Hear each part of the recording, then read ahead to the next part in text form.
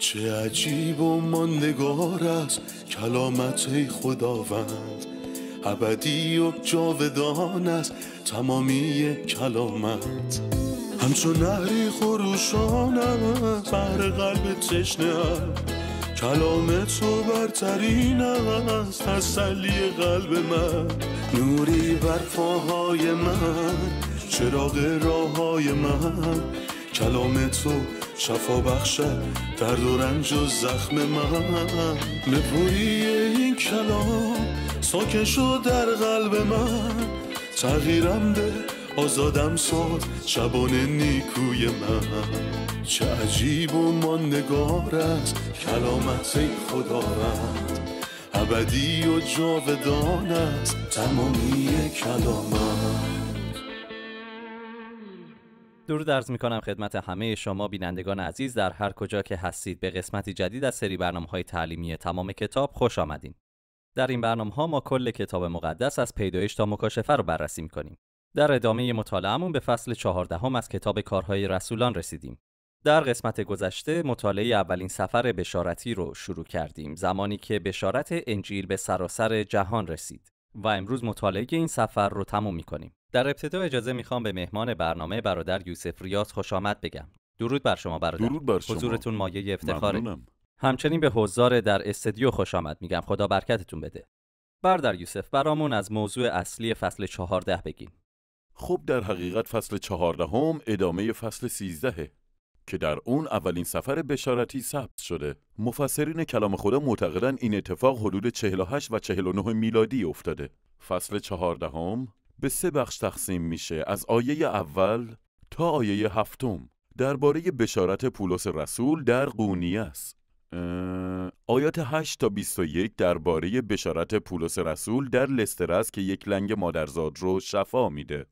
و بهش قربانی ها پیشکش می‌کنن چون میگن خدایان به صورت انسان در میان ما فرود آمدند اما بعد از اون پولس رسول رو طوری سنگسار می‌کنن که حتی فکر می‌کنن که او مرده و نهایتا بخش پایانی فصل که از آیه 21 شروع میشه و تا آیه 28 ادامه داره درباره بازگشت به انتاکیه و همینطور تقویت کلیساها صحبت می‌کنه. پولس اینجا به فیض خدا اعتماد کرد تا با محبت برای کلیسا تعریف کنه که خداوند در مسیر این سفر بشارتی با او چه کرده بنابراین فکر می‌کنم اولین توقف در قونی است بله. برامون از نتایج بشارت در قونیه بگین خب به محض ورودش به قونیه مثل همیشه به کنیسه وارد شد و تعداد زیادی ایمان آوردن اما تعداد زیادی هم با سرسختی رد کردند. البته رد کردنشون صرفا لفظی نبود بلکه با خشونت و توهین همراه بود. در آیه دو می‌خونیم یهودیان بی ایمان افکار غیر یهودیان را نسبت به ایمانداران منحرف ساختند. سپس میفرماید بین مردم شهر دو دستگی افتاد. عدهای طرفدار یهودیان شدند و عدهای جانب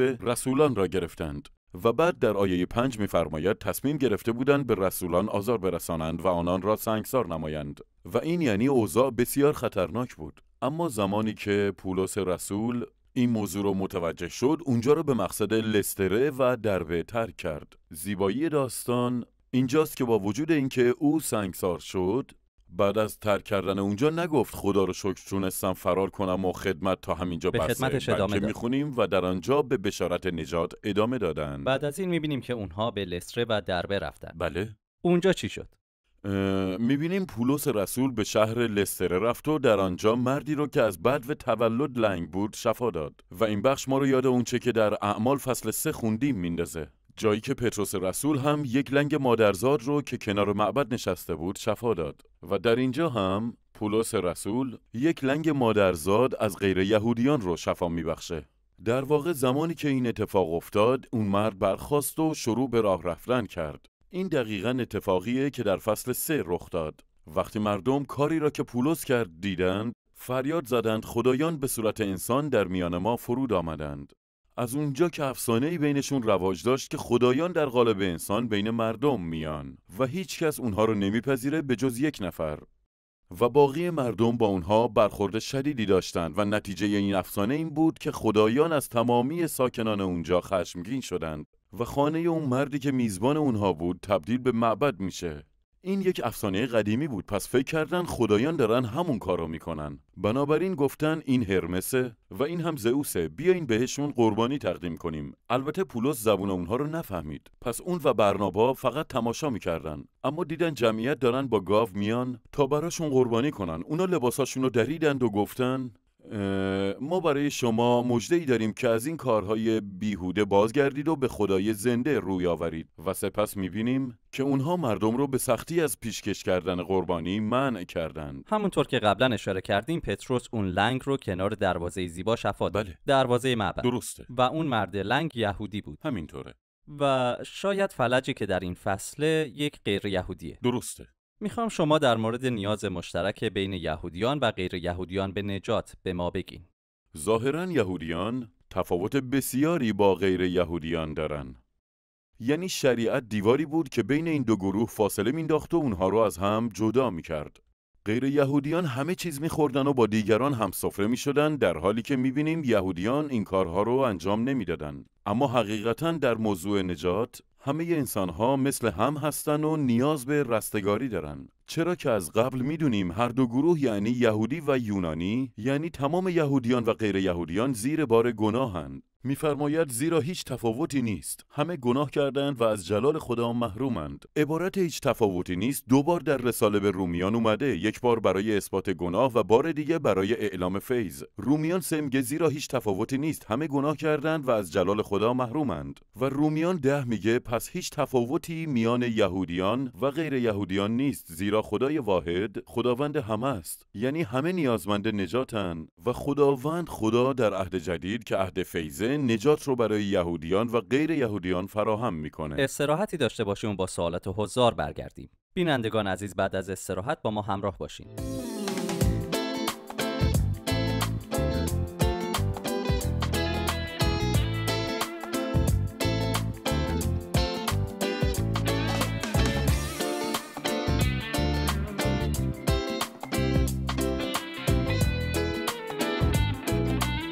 بینندگان عزیز برگشتیم و بریم سوالات حضار رو بشنویم. سوالی دارین؟ لطفا توضیح بفرمایید. زئوس و هرمس چه کسانی هستند و اگه بت پرستان به این اعتقاد داشتن خدا در قالب انسان میاد این چه فرقی با تجسم داره؟ تجسم تجلی خدا در یک جسم. سوال مهمیه برادر. خب باید بگم که زئوس و هرمس نام خدایانیه که بت پرستان داشتن. زئوس سیاره مشتریه و هرمس سیاره عطاروده یا اینکه اولی پدر خدایانه و دومی شخصیتیه که فرستاده این خداست. یکی از دیگری برتر. بله یکی از دیگری بزرگتره. پس اونا برنابا رو برگزیدن چون به ظاهر بزرگتر بود و اون رو زئوس نامیدن و نامی که بر پولس گذاشتند هرمس بود. به نظر من این باور که خدا رو به انسان تشبیه می‌کنن در زمانهای بسیار دور و دوران باستان ریشه داره. انسان دوست داره که خدا رو ببینه و فکر می‌کنم که این توسط فیلسوف ها و مؤمنان مطرح شده. به طور مثال از جمله مؤمنینی که آرزوی ملاقات با خدا را داشتند ایوب و موسی بودند. ایوب گفت ای کاش می‌دانستم که خدا را کجا می‌توانم بیابم. و موسی گفت بگذار تا نور درخشان حضور تو را ببینم. به نظر من در کل انسان در جستجوی این خدا در ذات انسان. بله همه انسان ها سوالاتی در ذهنشون داشتن مثل اینکه از کجا هستم؟ از کجا اومدم؟ و به کجا میرم؟ و نه تنها این بلکه اصل من از کجاست؟ آیا اصل من همونطور که امروز برخی از مردم میگن اتفاقیه؟ آیا یک تصادف در جهان باعث خلقت انسان به این شکل معجزه آسا میشه؟ انسان در ذهنش با عقیده خدا ناباوری قانع نمیشه چون قانع کننده نیست پس از خودش می‌پرسه من کی هستم؟ بنابراین انسان در طلب ملاقات با خداست اگر خدا روی زمین نمی اومد تا خودش رو به ما بشناسونه ما هنوز گم و گیج بودیم و میپرسیدیم اصل من از چه کسیه اما شکر که ما کتاب مقدس یعنی این مکاشفه عظیم و بینظیر الهی رو داریم و می‌دونیم که حقیقتا فرزندان خدای زنده هستیم. همونطور که پولس بعدن در فصل 17 در خطابه خودش در آتن به فیلسوفان میگه بله ریشه و اصل ما از خداست. بنابراین من به خاطر اشتیاق بیپایان انسان برای دیدن خدا و شناخت او انسان رو تشبیه می‌کنم به پسری که پدرشو نمی‌شناسه و به همین دلیل یک مشکل عمیق روانی داره. پس مهم نیست چطور این موضوع رو قایم می‌کنه چون که این یک نیاز عمیق قلبیه. بنابراین انسان بدون شناخت خدا سردرگمه و می‌خواد بدون اصلش کجاست و خدا رو بشناسه. شیطان از این فرصت استفاده کرد تا تصویر خدایان دروغین رو به وجود بیاره و نخست مردم رو مجاب به پرستش بتها کرد. اما چون قانع کننده نیست که من بوتی که خودم ساختم رو بپرستم و بهش تعظیم کنم شیطان ایده فرا انسان رو به وجود آورد. یعنی مردمی که به ظاهر نیروهای مافوق طبیعه دارن یا اینکه نسبت به دیگران وجودی برتر دارن و از اونها بت ساخت. مثل اون که در مصر باستان رخ داد هنگامی که فرعون خودش رو خدا خوند و مردم باید اونو میپرستیدن و بهش سجده می‌کردن. اما من هنوزم می‌خوام بین این تفکر بتپرستانه و تجسم خداوند تفاوت قائل بشم. با مقایسه. درسته. برامون از تفکر صحیح تجسم خدا در جسم انسانی در مقایسه با تفکر انسانها درباره تجسم خدایان یا تجلی خدایان در جسم انسان بگیم تجسم پسر خدا در یک بازه زمانی ناگهانی یا در نتیجه یک تصادف اتفاق نیفتاد و اینطور نبود که تولدش با قدرت‌های ماورایی باشه و به این خاطر اون رو خدا بدونن بلکه یک مکاشفه قدیمی از ابتدای کتاب مقدس درباره فرزندی میگه که از نسل زنه و سر مار رو میکوبه. فرزندی از نسل ابراهیم که همه ملت ها رو برکت میده. و این نور کم کم بیشتر میشه و تا اینکه اشعیا اومد و به ما گفت برای ما فرزندی زایده پسری به ما داده شده است. اسم او مشاور عجیب خدای قدیر پدر سرمدی و شاهزاده صلح و سلامتی خواهد بود. پیش از اومدن عیسی مسیح پیشگویی های زیادی وجود داشت که می‌گفت خدا به ملاقات بشر میاد. وقتی که مسیح اومد بین انسانها زیست او یک افسانه نبود بلکه واقعا زندگی کرد. پتروس تونست اعلام کنه عیسی ناصری مردی بود؟ که مأموریتش از جانب خدا به وسیله معجزات و شگفتی ها و نشانه هایی که خدا توسط او در میان شما انجام داد به ثبوت رسید. همانطوری که خود شما خوب می‌دانید و وقتی به کرنلیوس رسید گفت از اتفاقی که افتاد با خبرید. خبر داری چی شده؟ پس اون چه اتفاق افتاد افسانه نبود بلکه حقیقت بود. پیشگویی های بسیاری در عهد قدیم وجود داره که عیسی مسیح با اومدنش و با معجزات و نشونه های بسیاری که به انجام رسوند به روشنی ثابت کرد که او پسر یگانه خداست. برادر لطفا به چند نمونه از کارهای مسیح اشاره کنین که ثابت می‌کنن کسی که به این دنیا اومد خدای آشکار شده در جسمه. وقتی او به دریا فرمان داد ساکت و آرام شو، دریا کاملا آرام شد.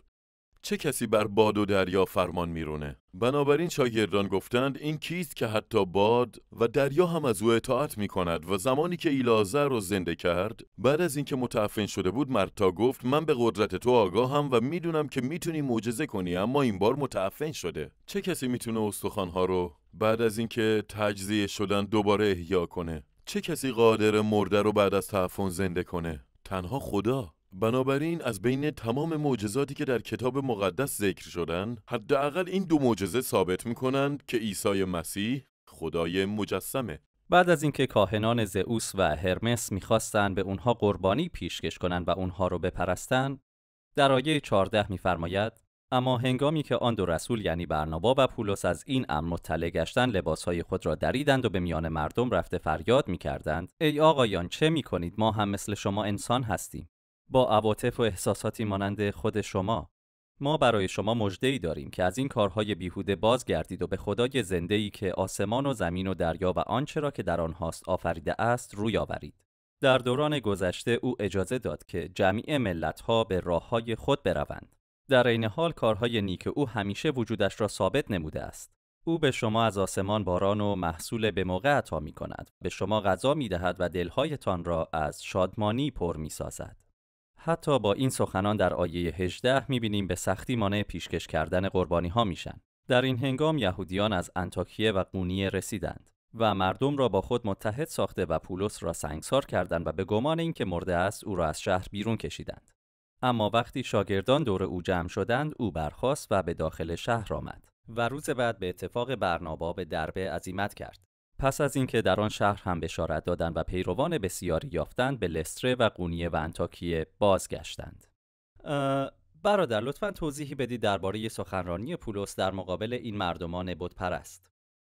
خب پولس رسول در فصل قبل با اونها درباره برخورد خدا با قوم زمینی خودش یعنی قوم بنی اسرائیل صحبت می‌کنه و از وفاداری خدا میگه و اینجا راجع به برخورد خدا با غیر یهودیان و نیکویی خدا صحبت می‌کنه. چرا که او امینه و قوم خودش رو تنها نذاشت و از اونجایی که نیکوست به تمامی ملت اجازه داد تا به مسیر خودشون برن اما در عین حال خودش رو بدون شاهد باقی نگذاشت. شاهدی برای خدا وجود داره اما او به همه اجازه داد در مسیری که دوست دارن قدم بردارن و با این حال نیکویی خودش رو دریغ نکرد. با عطای باران و محصول به موقع از آسمان به ما غذا میده و دلهامون رو از شادمانی پر می‌سازه. پولس با غیر یهودیان از نیکویی خدا و با یهودیان از وفاداری خدا صحبت کرد چون خدا وفاداره قومش رو تنها نذاشت و چون که نیکوست اجازه داد ملت ها به راه خودشون برن ملت ها راه خودشون رو برن یعنی چی؟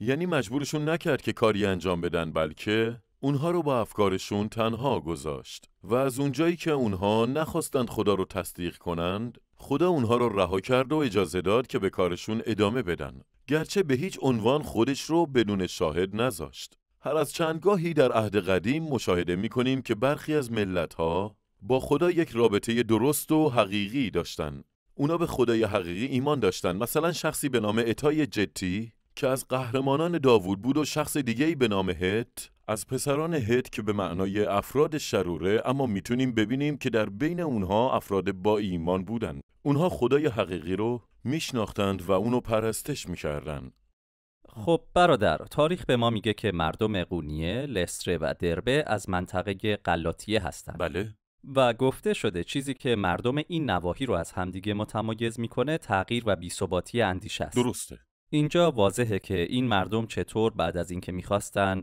پولس و برنابا رو پرستش کنن به یک باره به سنگسار کردن اونها تغییر نظر دادن. خب همونطور که اشاره کردین جامعه غلاطیه متغیر بودن در غلاطیان می‌خونیم من از این تعجب می‌کنم که شما به این زودی از آن کسی که شما را به فیض مسیح دعوت کرده است رویگران شده اید و اکنون از انجیل دیگری پیروی می‌کنید و بعد در همون رساله غلاطیان بهشون میگه طوری از من پذیرایی کردید که گویی فرشته خدا بودم. بدون تردید بگویم که اگر ممکن بود چشمان خود را درآورده و به من می‌دادید. آیا حالا با اظهار حقیقت دشمن شما شدم چه تغییر سریعی! اینجا یک تصویر واضح و روشن رو داریم که حقیقتا سیاه و سفیده. در ابتدا گفتند که این فرد خداست و می‌خواستن بهش قربانی تقدیم کنن اما بعد از مدتی یهودیان قانعشون کردند که پولس انسان خوبی نیست. بنابراین اونها پولس رو تا سرحد مرگ سنگسار کردن پس اونها خدایان رو قربانی می‌کنن نه قربانی بله برای خدایان. درسته. تعجب نکنید چون نه تنها این قوم بلکه تمامی انسانها به این شکل هستن انسان دمدمی مزاجه. اثبات من برای این موضوع اتفاقیه که در اورشلیم رخ داد. روز یکشنبه گفتند سپاس باد بر پسر داوود و روز جمعه گفتند مصلوبش کن ما پادشاهی جز قیصر نداریم ما عیسی رو نمی‌خوایم بلکه باراباس رو می‌خوایم بسیار خوب اجازه بدین استراحت کوتاهی داشته باشیم. بینندگان گرامی به زودی برمیگردیم با ما همراه باشید.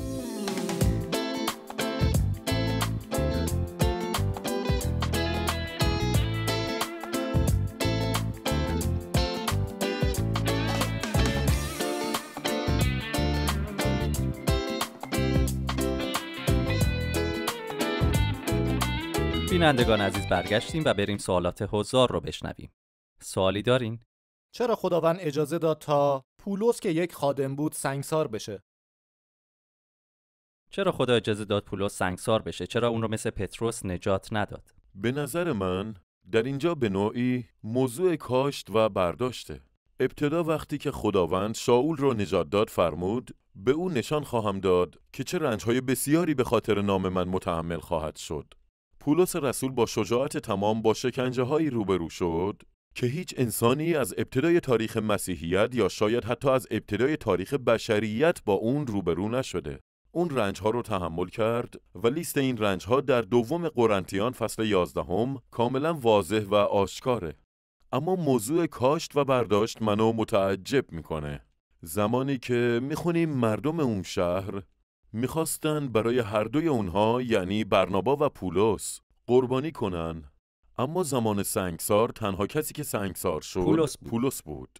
نمی‌دونم آیا به این اتفاقی که در کتاب کارهای رسولان فصل هفتم و همینطور فصل هشتم افتاد و اتفاقی که در فصل چهاردهم از این کتاب رخ میده ارتباطی وجود داره یا نه یعنی زمانی که شاول ترسوسی با سنگسار کردن استیفان اولین شهید مسیحی موافقت کرد آیا ممکنه ارتباطی بین اونچه در اونجا گذشت و اونچه در اینجا می‌خونیم وجود داشته باشه؟ من فکر می‌کنم که واقعا ارتباطی وجود داره بنابراین برنابا که توسط این مردم مورد لطف قرار گرفت و بزرگ قلمداد شد سنگسار نشد. اما پولس سنگسار شد. چرا که با سنگسار شدن استیفان اولین شهید مسیحی موافقت کرد. همونطور که بارها گفتیم برنابا مرد بسیار خوبی بود. مردی که مهربان بود و مردم رو محبت می کرد و قلب بسیار بزرگی داشت. بنابراین سنگسار نشد. آیا این برداشت محصولی که قبلا کاشته به شده؟ نظر من همینطور اما اینجا برداشت به معنی داوری نیست بلکه احتمالا خدا از این موضوع به عنوان برکت استفاده کرده. بله. برای دادن امتیاز یا تاج به اون شخص. درسته. یا بهتر اینطور بگم برای برکت و پاداش دادن به این شخصه و این پاداش همراه شدن در رنج مسیحه. خب باید خدمتتون عرض کنم که برداشت همیشه حکم داوری و لعنت رو نداره. خدا زمانی که در حکمت خودش ما رو متواضع و فروتن می‌بینه از خورنده خوردنی به دست میاره و از زوراور شیرینی. من فکر می‌کنم که در اون زمان تیموتائوس یک شاگرد جوان بود که در شهر لستره زندگی می‌کرد و او یکی از شاگردانی بود که شاهد سنگسار شدن پولس رسول بود. به نظرم این امر تأثیر عمیقی روش گذاشت. پولس رسول در رساله دوم خودش به تیموتائوس فصل سه هین صحبت با او اشاره می‌کنه. رنج و آزاری را که دیدم مشاهده کردی و میدانی چه آزارهایی به من رسید و چگونه خداوند مرا از همه اینها رهایی بخشید. تصور کنید یه نفر را تا سرحد مرگ سنگسار کنن و بعد رهاش کنن. اگر زنده بود هم همین رها کردن می‌تونست باعث مرگش بشه. اما می‌تونیم ببینیم به محض اینکه شاگردان دور او جمع شدن او برخاست و وارد شهر شد و به خدمت خودش ادامه داد. قطعا این کار روی همه شاگردان تأثیر گذاشت. اونا می‌دونستند که پولس برای پاداش پیرو خدا نیست بلکه او یک پیام حقیقی داره که نه تنها به طور کامل بهش پایبنده بلکه حتی حاضره به خاطر نام عیسی مسیح بمیره. بسیار خوب. در آیه 20 میفرماید اما وقتی شاگردان دور او جمع شدند او برخاست و به داخل شهر آمد و روز بعد به اتفاق برنابا به درب عزیمت کرد.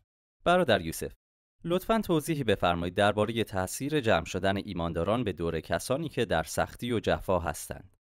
من این موقعیت رو مراقبت ویژه آسمانی مینامم.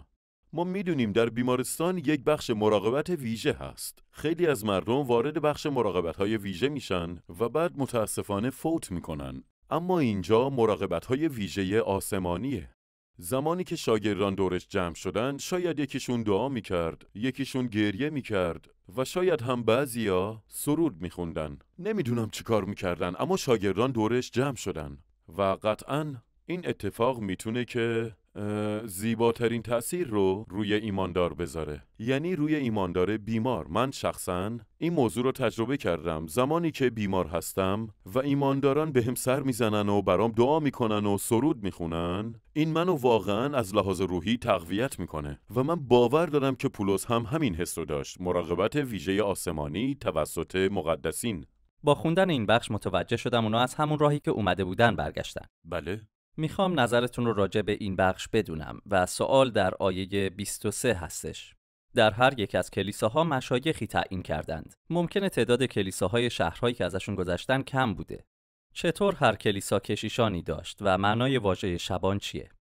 بله همون مسیری رو که رفته بودن برگشتن چون که اینجا دلیلش رو بهمون میگه شاگردان را تقویت می کردند و آنان را تشویق می نمودند که در ایمان خود پایدار بمانند. او انجیل رو براشون موعظه کرد. اما یا اونها بعد از ایمان نیاز به تشویق داشتن؟ بله چون ممکن بود مورد جفا قرار بگیرن. و اینجا بهشون میگه برای داخل شدن به پادشاهی خدا ما باید از راههای بسیار سختی بگذریم. اینجا پولس راه دوری نمیره بلکه در حالی که داره برای اونها صحبت می‌کنه خودش تا سرحد مرگ سنگسار شده. پس وقتی بهشون میگه قوی باشن و در سختی بردبار در حالی این حرفو نمی‌زنه که خودش این بار سنگین رو لمس نکرده باشه بلکه خودش تا حد مرگ سنگسار شده بود. بنابراین این حق داشت که به ایمانداران بگه این راه سختی های زیادی داره و از رنج ها و جفاها نترسید و اینکه در سختی هاست که به پادشاهی خدا وارد میشیم. اما در رابطه با کلیساها فکر می‌کنم تعدادشون زیاد بوده و نیاز به مشایخ داشتن. یعنی کسانی که بر اون گروه نظارت کنند و حواسشون بهشون باشه. کلمه مشایخ یعنی بزرگان. این واژه فارسی نیست بلکه واژه‌ایه که ریشه سوریانی داره و اصلش قشیشو هست. و ترجمه اون در فارسی مشایخه. دلیل این که به اونها بزرگان میگن اینه که با تجربه و می‌دونن که چطور از گله خدا مراقبت و نگهداری کنن. بهتره کسی که از گله خدا مراقبت می‌کنه از لحاظ سنی و همینطور از لحاظ ایمانی خیلی جوون نباشه بلکه مسنتر باشه و فرزندانی مطیع داشته باشه همونطور که در اول تیموتائوس سه می‌خونیم. اما می‌تونیم ببینیم که پولس و برنابا در اولین سفرشون مشایخ رو انتخاب نکردن بلکه هنگام بازگشت این کارو کردن. به این خاطر که در سفر اول همه افراد نو ایمان بودن. بر اساس شرایط انتخاب اسقف یا کشیش طبق چیزی که در اول تیموتائوس 6 گفته شده او نباید تازه ایمان باشد مبادا مغرور گشته و مثل ابلیس محکوم شود. پس در سفر بازگشت افرادی رو دیدن که در ایمان بالغ شده بودن و می‌تونستن مسئولیت برادرشون رو به عهده بگیرن بارهای اونها رو متحمل بشن و اونها رو راهنمایی کنن و بهشون مشورت بدن. بنابراین مشایخی رو انتخاب کردن. شاید به یاد داشته باشید که در اعمال فصل 6 شاگردان کسانی بودند که شماسان را انتخاب می‌کردند چون که این یک خدمت مادی بود.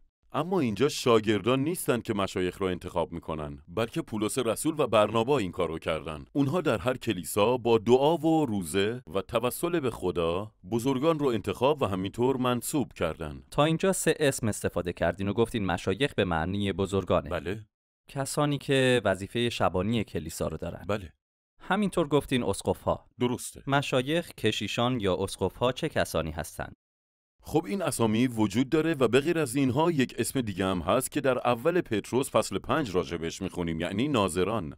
می‌خونیم مشایخ را در میان شما پند می‌دهم گله خدا را که به دست شما سپرده شده است شبانی و نظارت کنید. مردم در کلیسا سه جایگاه مختلف برای ناظران کشیشان و اسقفها در نظر می‌گیرند قافل از اینکه هر سه این القاب به یک نفر نسبت داده میشه.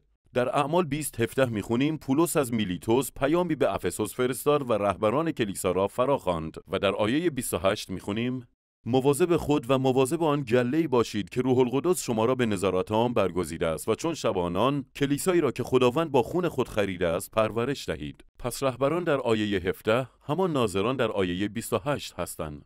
اونا چهار تا عنوان دارن. کشیش شیخ اسقف و همینطور ناظر. سپاسگزارم بردر یوسف. خدا بهتون برکت بده. ممنونم برادر. اجازه بدین همراه حاضرین درس امروز رو مرور کنیم. از عکس العمل مردم لستره به حضور پولس و برنابا که می‌خواستن براشون به عنوان خدایان قربانی کنن و بعد سنگسار کردن چی می‌فهمیم؟ فهمیدیم مردم لسره اهل غلاطیه هستن و مشهورن به این که نظرشون رو فورا تغییر میدن. و به این موضوع در رساله پولس به غلاطیان اشاره شده. پس در ابتدا خواستند برای پولس و برنابا قربانی تقدیم کنند. ولی وقتی با یهودیان صحبت کردند فورا نظرشون عوض شد و تصمیم گرفتن اونها رو بکشن. زئوس و هرمس چه کسانی هستند؟ نظریه شبیه بودن خدا به انسان چیه؟ آیا نزدیک به تفکر تجلی خدا در جسم نیست؟